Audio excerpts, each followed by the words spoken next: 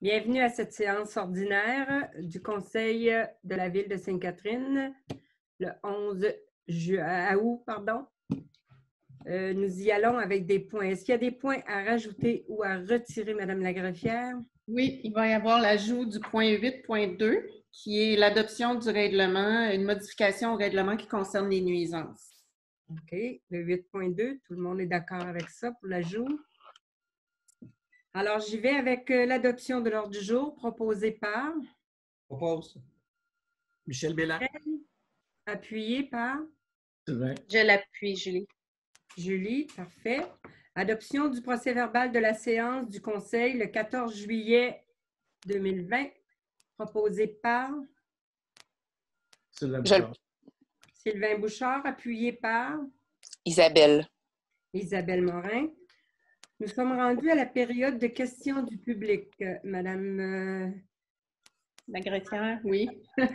On a euh, plusieurs questions. Une question qui vient de M. Gilles Gauthier euh, concernant ses taxes municipales, l'augmentation de taxes municipales. Euh, donc, il veut savoir où en est ce dossier-là. OK. Alors, on prend note des demandes de monsieur. On va lui répondre. Et je sais qu'il y a eu des réponses quand même de son conseiller municipal. Alors, euh, on pourra regarder euh, quelle réponse a été donnée par le conseiller municipal, puis euh, tout simplement l'in- l'informer que pour l'instant, les taxes municipales ne changeront pas, mais qu'au prochain budget, on regardera son dossier. Et s'il demande de revoir son dossier, il faudra à ce moment-là qu'il passe par la trésorerie pour avoir des informations. Parfait. Et on a trois, quatre, cinq questions provenant d'autres citoyens. Donc, la première, est-ce que la Ville ne devrait pas constituer une réserve monétaire de six mois plutôt que d'emprunter, de faire des règlements d'emprunt? C'est la Euh, première question. Oui, disons que la première question. Un règlement d'emprunt, tout dépendant du montant, euh, faire une réserve dans date de six mois, je ne vois pas de quelle façon une municipalité pourrait faire une réserve des montants qu'on peut emprunter. Parce que quand on fait des emprunts au niveau de la municipalité, ça peut jouer. Euh, je me verrais très mal, euh, en bon gestionnaire, d'aller euh, accumuler en dedans de six mois un emprunt de 10, 000, euh, 10 millions, si on veut, là, pour refaire une rue. C'est vraiment utopique de penser que c'est faisable dans une municipalité. Parfait. La seconde question, pourquoi les questions des citoyens et les réponses de la mairesse n'apparaissent pas dans les PV, donc les procès-verbaux euh, des assemblées et du conseil? Ben, pour moi, ce qui est important, c'est que les gens qui viennent poser des questions ont leur propre réponse. Ce n'est pas dans le PV qu'on doit commencer à émettre toutes ces, ces informations-là. L'important, c'est que le citoyen, quand il pose une question, il y a une réponse. Qu'il aime la réponse, qu'il ne l'aime pas, il y a une réponse. La logique, elle est là. Et on va s'en tenir à ça. Parfait. Euh, le montant de 48 289 pour l'étude d'arpentage géomètre pour la promenade fluviale, est-ce qu'elle est payée par la ville ou par la CMM? Par la CMM à 100% Ensuite, est-ce que le Collège Charlemagne assume des taxes municipales? Je crois que le Collège Charlemagne, comme toute euh, commission scolaire ou école, a le même crédit de taxe euh, de par le ministère, de par le gouvernement. Il y a une exemption. Et dans cette question-là, il y a aussi la question est-ce que le collège assume 50% pour l'aréna? Puis, euh, est-ce qu'il va y en, a- en être de même pour le futur centre sportif? Donc, pour ce qui est de l'ARENA, il y a une entente. Oui, c'est 50-50 avec l'ARENA, seulement qu'il y a différentes façons de travailler les heures de glace euh, par rapport au collège et par rapport à la municipalité. Pour ce qui est du futur centre, euh, on est encore en discussion à l'intérieur de tout ça. Ça fait que c'est impen- c'est- c'est impensable que je puisse donner une réponse présentement. C'est sûr qu'il y a des euh, discussions qui sont sur la table comme partenaires. Euh, comment le dossier va se terminer, soyez assurés que tous les citoyens vont avoir la même information en temps et lieu. Dernière question, est-ce que les pompiers premiers répondants sont considérés comme du personnel essentiel? Et si oui, pourquoi ont-ils cessé leurs opérations pour la période de pandémie? Euh, si on pense au début de tout, euh, on avait un manque de, de- de- d'effectifs et on avait un manque aussi de matériel. et certaines personnes étaient euh, non disponibles. Alors, vous comprendrez que le directeur, quand il a vu qu'on manquait de, d'équipement pour pouvoir s'assurer de la protection de nos pompiers, a préféré le retirer temporairement parce que ça n'a pas duré longtemps quand même quand euh, ils ont reçu tous les équipements nécessaires pour protéger les, services d'incendie. Euh, le travail est revenu. Euh, les premiers répondants ont continué de faire leur travail. Parfait. C'était les questions. Parfait. Alors, on poursuit. Nous, sommes rendus au point d'information. Alors, il y a un dépôt de la liste d'embauche et des départs du personnel surnuméraire, étudiants et professeurs pour le mois de juillet. On y va pour les points de décision. Il y a une demande d'appui pour la Fondation Gisèle Faubert, happening virtuel samedi le 22 août 2020. C'est pour la maison palliative qui va être euh, construite euh, à Mercier, dans notre région. Alors, on y va avec une commandite de 250 proposée par Isabelle. Isabelle, appuyée. Sylvain. Parfait, merci. À 5.2, invitation au quatrième tournoi de golf du Boisé pour la Fondation Gisèle Faubert. Malheureusement, aucune personne n'est disponible pour participer à cette activité, mais étant donné qu'on fait quand même un don à la première activité, on va s'en tenir à ça. Est-ce que tout le monde est d'accord? Oui. Avez-vous besoin d'un proposeur et un appuyeur, Madame la greffière? Oui, oui c'est une résolution. Pardon? C'est une résolution, donc un proposeur. Proposé par Michel Leblanc, appuyé par Isabelle Morin. Michel Bellin? Parfait. On est rendu à 5.3, l'embauche d'une technicienne en loisirs. Alors, je vais prendre le document. Il s'agit de recommander l'embauche de Mme Sophie Gervais à titre de technicienne en loisirs et la date d'entrée en fonction de Mme Gervais est fixée le 8 septembre. Proposé par? Je propose, Julie. Je l'appuie. Appuyé par Sylvain. La permanence d'une commis à la bibliothèque. Alors, il s'agit d'accorder à Mme Marie-Claude Moreau le statut d'employé permanent à titre de commis à la bibliothèque le 27 août 2020, soit à la fin de la dite période de probation. C'est proposé par Sylvain Bouchard. Sylvain Bouchard est appuyé. Je l'appuie, Julie. Julie. On est rendu à la tarification pour les masques COVID-19.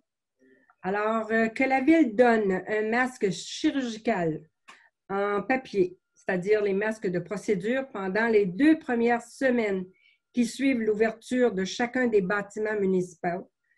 Et après cette date de deux semaines, la Ville vendra le masque 1 incluant les taxes. Le règlement de tarification doit être modifié et un avis de motion sera présenté à la séance du 11 août et l'adoption de la modification du règlement à la séance spéciale du 26 août ou à la séance régulière de septembre. Alors, c'est proposé par Isabelle Morin. Isabelle Morin, appuyé. Michel Bellin, merci. À 5.6, vous avez l'autorisation de signature entre la commission scolaire et le, pour le parc des Timoniers et la ville de Sainte-Catherine. Alors, euh, il s'agit de considérant que la commission scolaire a récupéré l'espace occupé par la ville au fin de la construction des infrastructures, l'agrandissement de l'école Les Bourlingueurs, tout en réservant à la ville un nouvel espace sur l'immeuble selon les termes que le Conseil adopte une résolution autorisant la signature de l'entente par la mairesse ainsi que la directrice des services juridiques, Mme Pascalie Tanguay. Proposé par Julie. Sylvain et Julie. Séance publique du Conseil municipal. Considérant que les municipalités peuvent maintenant reprendre la tenue des séances du Conseil avec la présence du public, considérant que les mesures sanitaires applicables au rassemblement intérieur, considérant que les règles concernant les réunions, séances et assemblées établies par l'arrêté 2020-029 demeurent en vigueur et qu'il est encore possible pour les municipalités de continuer de tenir les séances sans la présence du public. Considérant que le Conseil de la ville de Sainte-Catherine souhaite protéger la santé et la sécurité de ses membres, des employés de la ville et surtout de ses citoyens.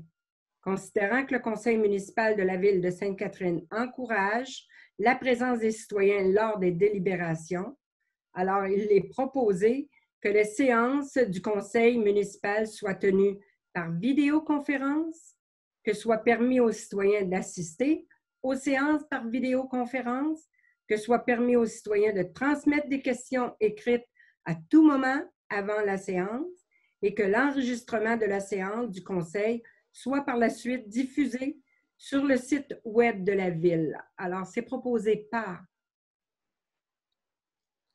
Isabelle Morin. Isabelle, appuyée par Sylvain Bouchard. Sylvain Bouchard.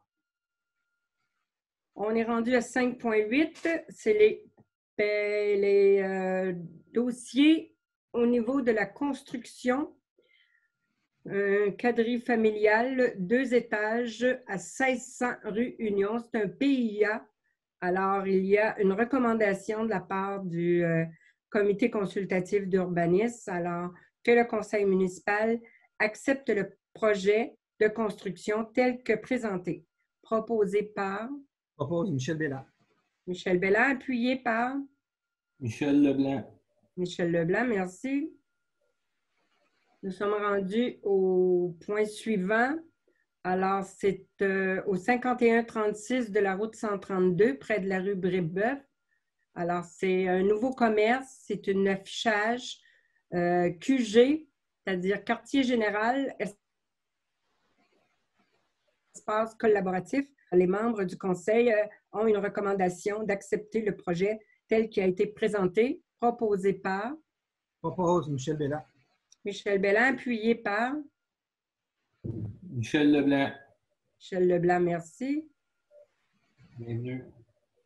5148, route 132, près de la rue Brébeuf. Alors, c'est un nouveau commerce, euh, Foisy-Labrec, huissier de justice incorporé.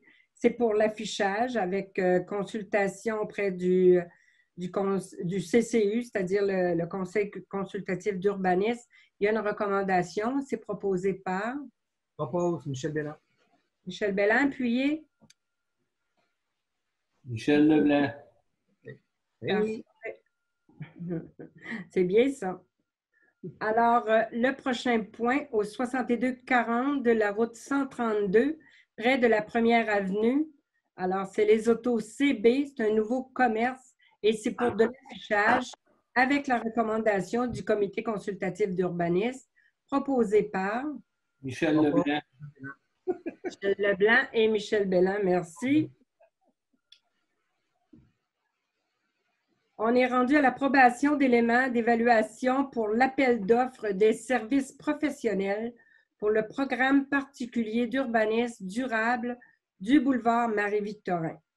Alors, il s'agit de, de mettre les critères éligibles d'évaluation, les pointages, ainsi que la grille de pondération proposée par Isabelle Morin. Isabelle Morin, appuyée par Julie. Julie, merci. À 5, euh, points. Est-ce qu'on retire le point pour le stationnement des rapides ou si vous le, on le met pareil? OK. Alors, l'ajout d'un arrêt obligatoire et d'interdiction de stationnement sur la rue des Rapides à l'intersection de la rue des Jacinthes. Après euh, vérification, vous allez euh, regarder s'il y a quand même beaucoup de sécurité avec euh, les marges que vous avez retenues et s'il y a lieu de le changer, vous allez le faire. Proposé par Sylvain Bouchard. Sylvain Bouchard, appuyé par Michel Leblanc. Michel Leblanc, merci. Bienvenue. 5.14, autorisation de dépôt de demande de subvention du programme de soutien aux municipalités Et c'est pour la gestion de des bon, un instant, programme de soutien aux municipalités dans la mise en place d'infrastructures de gestion durable des eaux de pluie à la source pour le prolongement de la rue Léo. Alors, qui propose? Je propose. Je l'appuie. Julie. Julie, parfait, merci. Compte payé. Ah non, c'est vrai, il y a un point que vous avez rajouté, Madame la greffière. Voulez-vous? Non, c'est 8.2. À 8.2, parfait. Alors, nous sommes rendus à compte payé et à payer du mois de juillet. Alors, il s'agit d'autoriser les paiements euh, plus amplement décrits comme suit. Un montant de 1 649 341 et 94 pour les déboursés mensuels du mois de juillet. La liste des chèques à être émis, telle que plus amplement détaillée par le service. Un montant de 304 723 et 37 pour les dépôts directs aux fournisseurs, un montant de 1 332 463 et 59 pour les chèques hebdomadaires, un montant de 124 382 et 28 pour les factures payées par débit direct et d'approuver un montant de 301 945 et 55 qui représente les salaires nets pour le mois. Le tout est amplement détaillé dans un document préparé par le service financier et administratif, proposé par Isabelle Morin. Isabelle Morin et Michel Leblanc. À 7, vous avez avis de motion pour le dépôt de projet de règlement. Alors, qui donne avis de motion? Je donne avis. Sylvain, est-ce que vous avez Sylvain Bouchard, est-ce que vous avez besoin de, de nommer euh, l'avis de motion, le projet de règlement? C'est quoi le numéro du projet de règlement, Madame la greffière? C'est le, le projet de règlement 859-20 qui vient modifier le règlement 859-19. Parfait, merci. À 7.1, vous avez la modification de la tarification. Alors, euh, c'est simplement euh, de donner un avis de motion. Qui donne avis de 8.1. motion? Pardon? On vient de faire 7.1, l'avis de motion, Sylvain Bouchard l'a donné, on est à 8.1. Parce que je viens de le trouver, le, le point, c'est pour ça. Merci. Vous êtes gentille. À 8.1, vous avez le règlement de modification de la grille 2009Z68 pour P114, Collège Charlemagne. Alors, considérant que les procédures prévues à l'article 356 de la loi et les euh, et villes ont été suivies, que les membres du Conseil présent déclarent avoir lu et renoncent à la lecture du présent règlement. Il est proposé par et appuyé Je propose Isabelle Morin. Isabelle Morin, appuyé par J'appuie. Michel Bellin. Michel Belland. Alors, nous sommes rendus à 8.2. Je vais vous laisser lire euh, le point, étant donné que je ne l'ai pas à l'écran. Mhm. Euh, un avis de motion, ça concerne le règlement numéro 10-10-01-11 qui modifie le règlement concernant les nuisances et ça a rapport avec les feux contrôlés dans un feu ou poêle à bois à l'extérieur.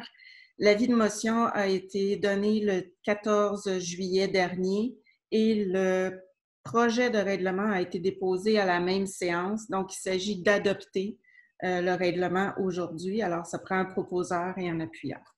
Alors, proposé par? Julie, je propose. Julie et appuyé par? Michel Leblanc. Michel Leblanc. Parfait. Alors, nous sommes rendus à la deuxième période de questions du public. On a posé les questions à la première. Parfait, on les a passées. Communication publique. Moi, ce que j'aimerais donner comme euh, communication, c'est de continuer de suivre les règles. Euh, on aimerait avoir la chance de pouvoir tous se rencontrer, se serrer les mains, se serrer les coudes, mais il faut garder quand même nos distances. Alors, s'il vous plaît, continuez de suivre les directives. La ville de Sainte-Catherine se porte bien. Alors, continuons dans cette veine-là. Je voudrais remercier quand même mon personnel qui se dévoue pour nos citoyens avec beaucoup de beaux projets. Allez voir les projets, que notre monde a fait pour vous. Allez les visiter parce que ça vaut la peine. Moi, je l'ai vu. C'est vraiment magique. Nos gens travaillent très bien. Alors, merci à tout notre personnel au complet. Merci aux membres de conseil de nous appuyer là-dedans aussi. Levée de la séance proposée par Michel Leblanc. Michel Leblanc et appuyé par Michel Bélan. Alors, merci beaucoup. Bonne fin de soirée.